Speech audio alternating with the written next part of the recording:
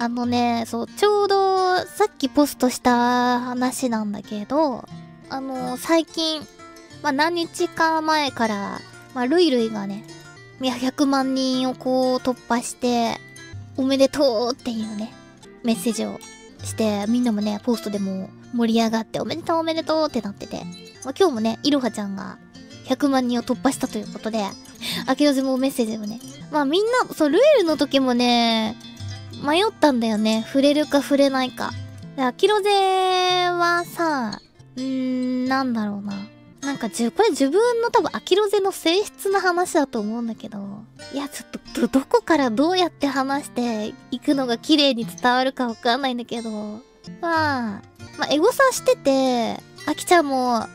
もうすぐだねとかってめちゃめちゃポジティブなね、まあ、発言をしてくれてる人とかもいっぱいいたりとかして、まあ、もちろんまあ、変なこと言う人も相変わらずいるんだけ、いるはいるんだけど、あでもそういう風に気にかけてくれてるっていうことはすごい嬉しくて、で、アキロジも気にしてないわけじゃないし、まあ、常にどっか頭の片隅ではやっぱその、もうちょっとかなとか、まあ頑張って目指そうかなとかっていう、そういうのももちろんある。けど、あえてそこで発信するかどうかを悩んで、まあ、しなかったんだよね。そう、ルールの時。うん。まあでも、それって多分一種のアキロゼ的に言うと、まあ、配信者として、正解か不正解で言ったら、自分のその時の気持ちとか、考えとかを、バッと表に発信できないのは、まあ、不正解に近いのかもしれないんだけど、どうもアキロゼはそこがね、苦手だったりとかして、甘えてしまってる部分かもしれないなと思うんだ、ロゼタイに。言わなくても、みたいな ところとかもね、若干こう、あるのかなみたいな。あえて言葉にしなくても、みたいなね。まあ、そんな気持ちもどこかしらにはあったりとかするんだろうな。まあ、でも、さすがにやっぱり何も触れないでいるのもみんなも寂しいかなって思うことも多いと思うから、いや、まあ今回は触れておこうかなと思って。もう触れるか触れないかだけでもなんかな、めちゃくちゃ時間悩んだわ。まあ、でもそんなにこう、マイナスな意味で伝えたいっていう気持ちもなく、まあフラットな、すごくフラットな気持ちというか、まあありのままの気持ちというか、まあそういう気持ちでね、ポストしたので、うーん。まあ、ホロライブ JP で言うと、まあ、あと、アキロゼがね、100万人突破したら全員100万人突破するっていう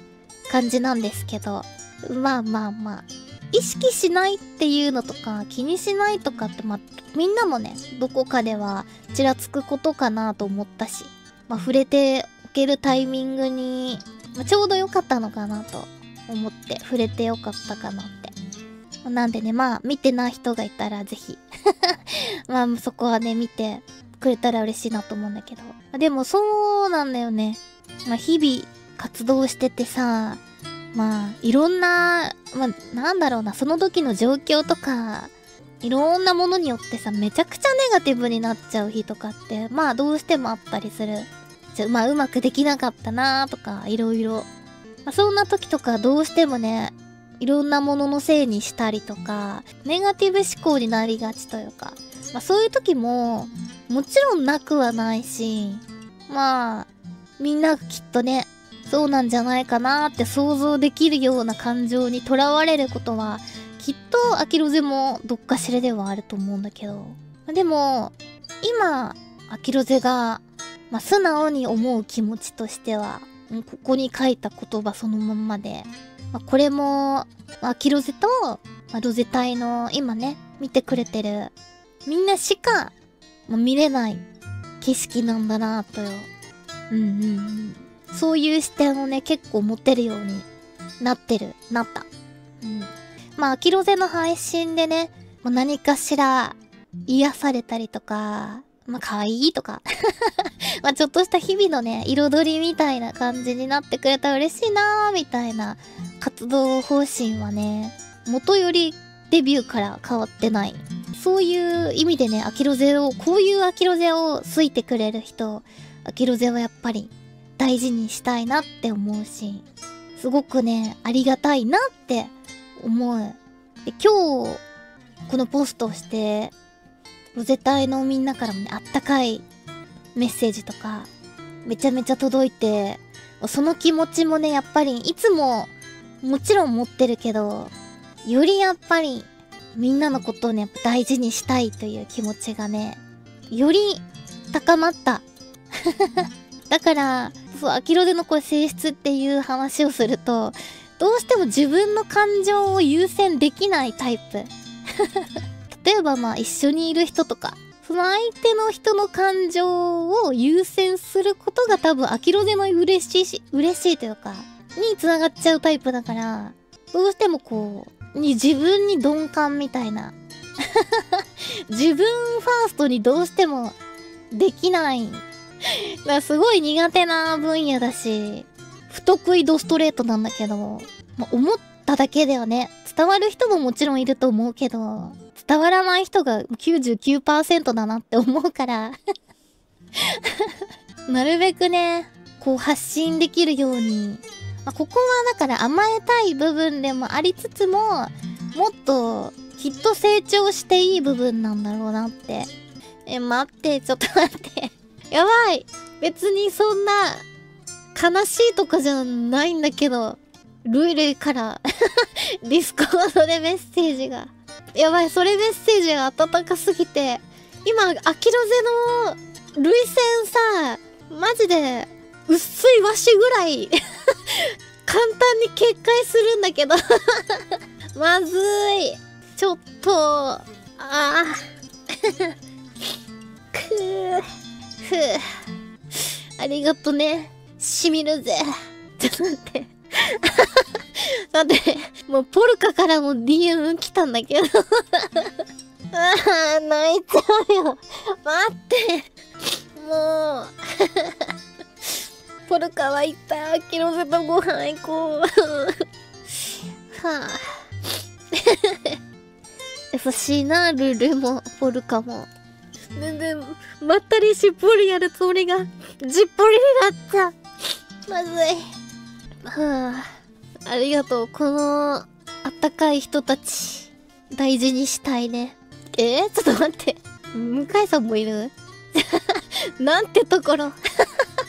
今日も可愛いね。ちょ、親父化してない？大丈夫？まあでもね、可愛いなって、多分、アキロゼもね、言われて嬉しいんだなって一丁前に思うから、みんなへ、軽率にね、可愛いって言って。そしたら多分ね、どんどん可愛くなれる気がする。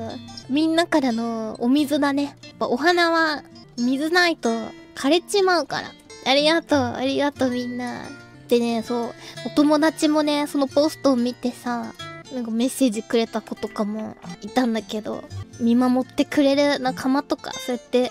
ありがたいことだし、嬉しいなって思った。だし、その、ポストしてさ、ロゼ隊のあったかいメッセージとかさ、まあ、別に普段見てるわけじゃないけどやっぱ応援はしたいよねとか、まあ、いろんなね、温度感の人とかもいると思うんだけど、まあ、苦手だけど自分の気持ちを外に出すっていうことは、だけど、そういうあったかいメッセージをさ、もらえたりとか、やっぱり大事にしたいなっていう風により思ったから大事なことなんだって。脳みそではそういうのってその方がいいとかさ、知ってることだったと思うけど、ちょっと心がすっとこう、な、理解したじゃないけど、そういうのしていこうかなって、成長したいところだなーって、うん、そうだね、改めて思ったかも。